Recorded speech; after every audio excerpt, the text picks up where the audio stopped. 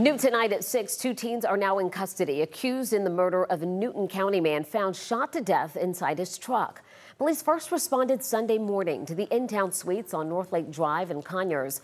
That's where they say they found the body of 33-year-old Dontavious Hardeman.